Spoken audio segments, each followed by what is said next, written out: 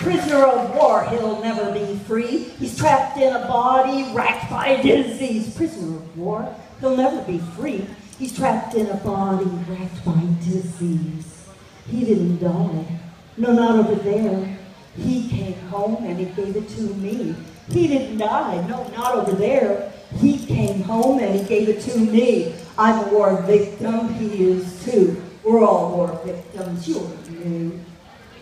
The child I'll raise when he is gone doesn't have a mouth, one leg is wrong. The child I'll raise when he is gone doesn't have a mouth one leg is wrong. I'm a war victim, he is too. We're all war victims. You are new. That started out being about Agent Orange in Vietnam, but it's still going on. Now we've got depleted uranium bullets and crap we're dropping on ourselves, our enemies, because they're not buying enough color TVs.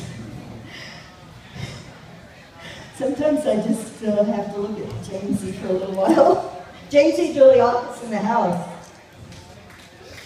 Come on, you can do better. Keep it going for Jaimsie.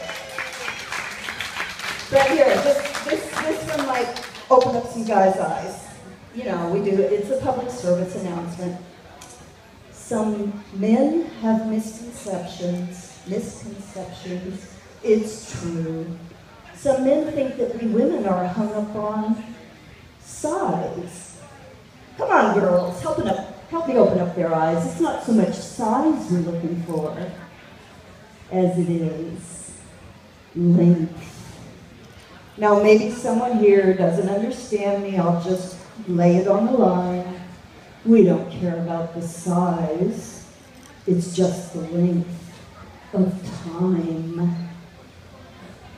Come on, girls. Help me open their eyes. We're not looking for the biggest tongue between our thighs or the largest pocket rocket to launch us to the skies. No, we want length.